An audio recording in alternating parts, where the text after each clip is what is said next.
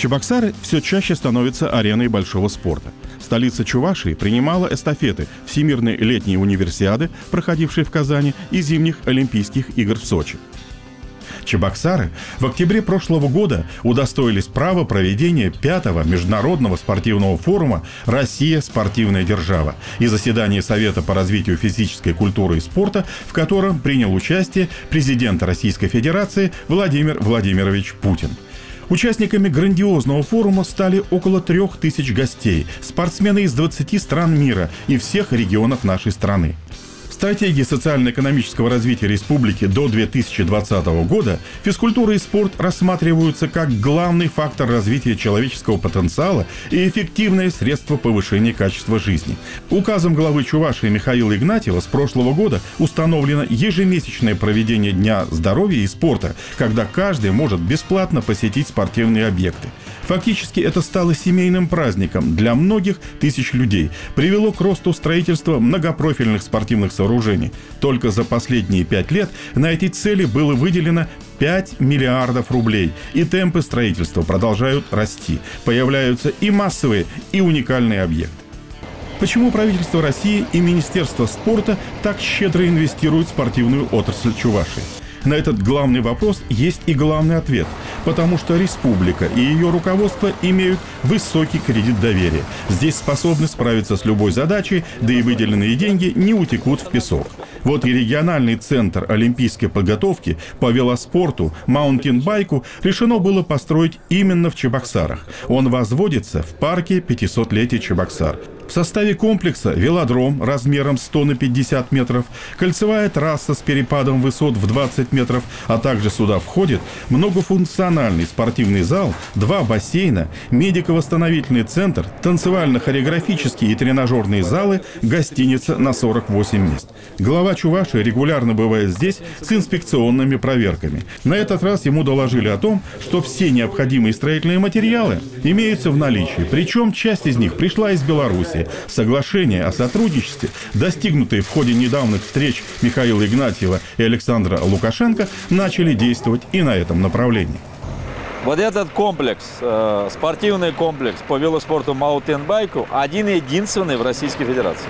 Это доверие федерального центра к нам, по развитию данного вида спорта. Мы не только ведь спорт сейчас развиваем вот в таких городах, как там Чебоксары, Новочебоксарск, но и много строится теперь на селе, чего раньше не было. Во-первых, мы в прошлом году ввели в Урнарах ледовый каток. Сельской местности у нас вообще не было. У нас же льда вообще не хватает.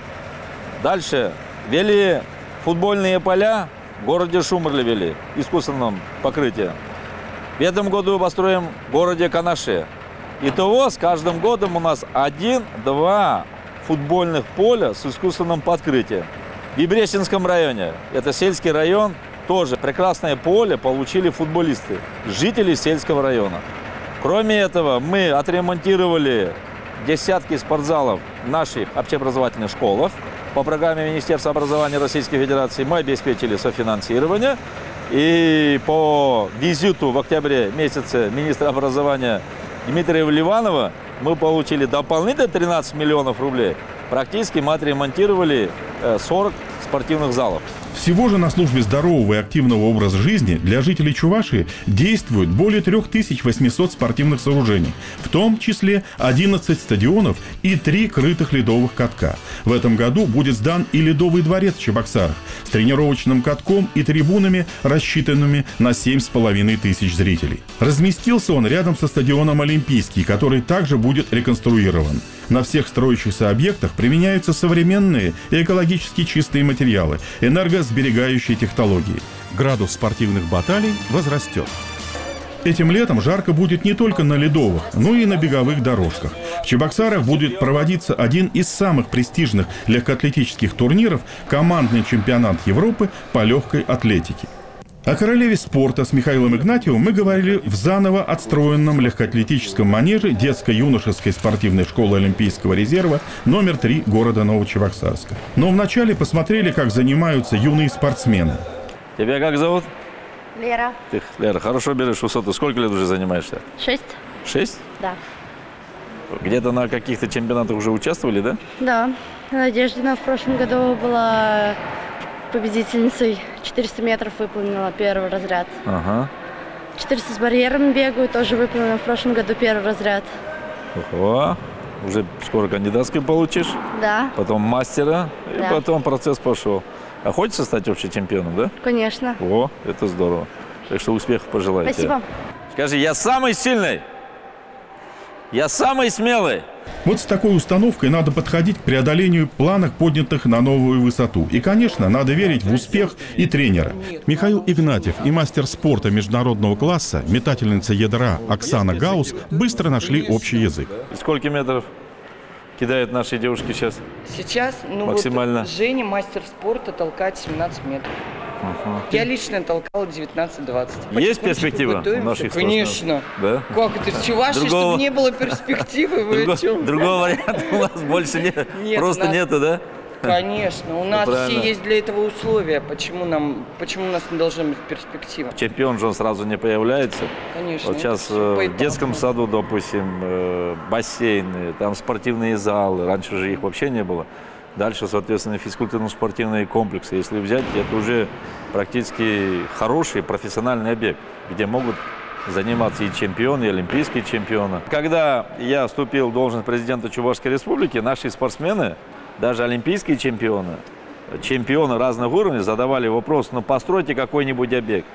Бегаем под открытым небом и зимой, и летом, и весной, и осенью. Их просьба, можно сказать, мы притворили в реальность. Вот данный легкоатлетический манеж на сегодняшний день не уступает мировым аналогам. Я считал и считаю, что кто занимается физической культурой и спортом для себя, он всегда эффективный человек. Мы э, выходим в элиту городов и республик, где проводятся и европейские, и мировые первенства. И вот буквально в июне у нас будет чемпионат Европы. Кто дает нам командный чемпионат Европы, хочу сказать следующее. Во-первых, приедут очень много гостей. Они приедут с финансовыми определенными средствами. Отсюда практически экономика лучше будет развиваться.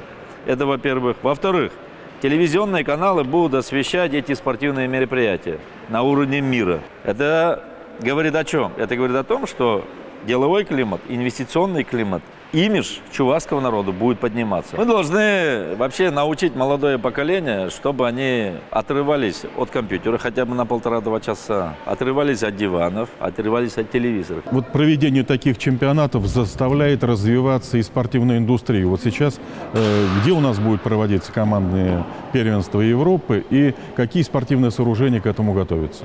В этом году, как никогда, впервые мы получили уже в марте месяце финансовые средства через Министерство спорта Российской Федерации по распоряжению, по решению правительства Российской Федерации 357 миллионов рублей. Это хорошие инвестиции в наши спортивные объекты. В том числе мы получили средства на модернизацию центрального стадиона «Олимпийский» в городе Чебоксары, где будут проходить основные спортивные мероприятия. Под одной крышей с легкоатлетическим манежем экстра-класса, как оценивают его спортсмены, находится и лучший в Чувашии плавательный бассейн. Здесь можно проводить крупные соревнования, а также просто укреплять свое здоровье.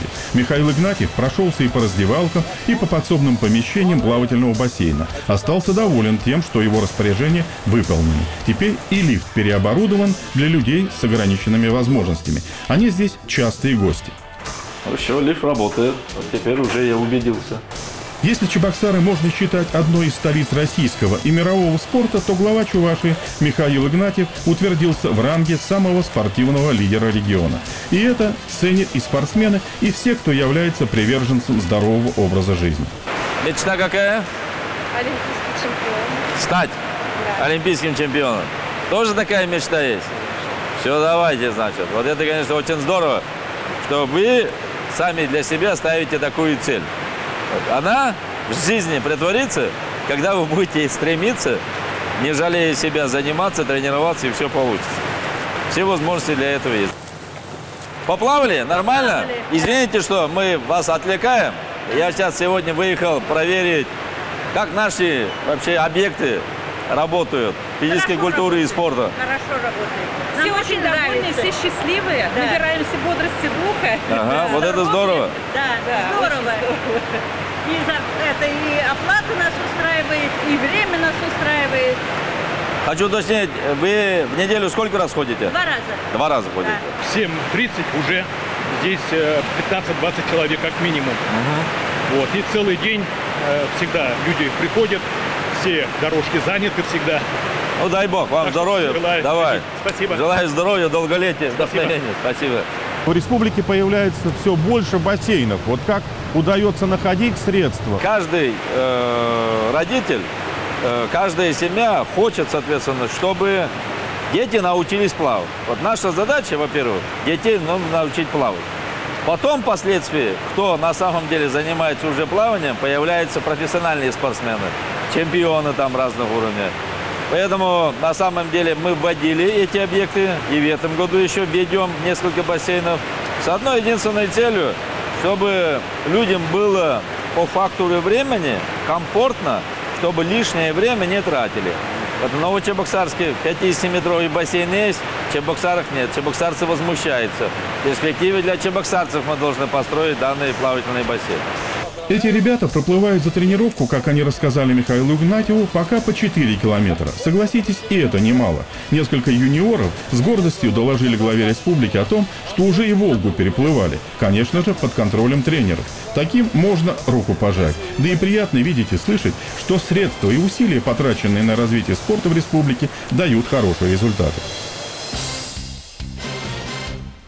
По данным медиков, за последние пять лет наблюдается резкое снижение заболеваемости среди подростков. Меньше становится тех, кто курит и употребляет спиртные напитки. Есть в этом заслуга и детско-юношеской школы самбо и дзюдо, и тех, кто тренирует и воспитывает ребят, преподносит им важные жизненные уроки. Михаил Игнатьев радуется успехам борцов и их именитых наставников. Часто заглядывает сюда, чтобы порадоваться успехам спортсменов. Я благодарен вам. Передайте слова благодарности своим родителям, потому что это очень важно. Ваш личный пример подтягивает других людей.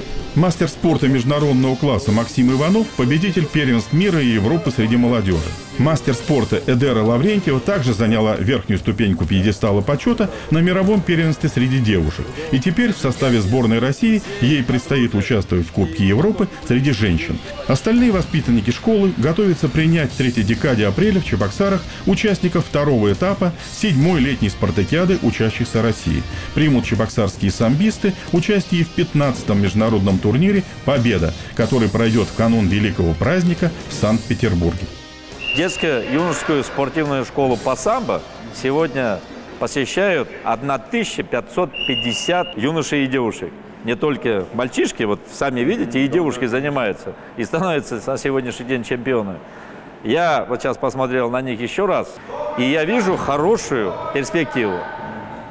Кто-то из них станет чемпионом, кто-то, может быть, по каким-то объективным причинам, субъективным причинам оставит этот вид самбо, но будет настоящим, мужественным, достойным, смелым, храбрым гражданином Российской Федерации. Мы приняли два года назад политическое волевое решение. Мы же построили физкультурно-спортивные комплексы, отчитали, все прекрасно, все замечательно. Но у нас в то же время параллельно работали организации, как детские юношеские спортивные движения. Они, как в форме юридического лица, дети туда ходили, но у них не было имущественного комплекса. Вот волевое принятое решение нам дало что? Мы все построенные имущественные комплексы передали в ведение этих детско-юношеских спортивных школ.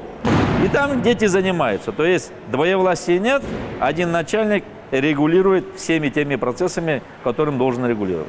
И такие решения на благо детей, на благо родителей, на благо жителей мы будем принимать. По государственной программе развития физической культуры и спорта до 2020 года в Чувашии поставлена задача вовлечь в постоянные занятия физкультурой и спортом 40% населения республики. На начало 2015 года регулярно занимается спортом 431 тысяча человек.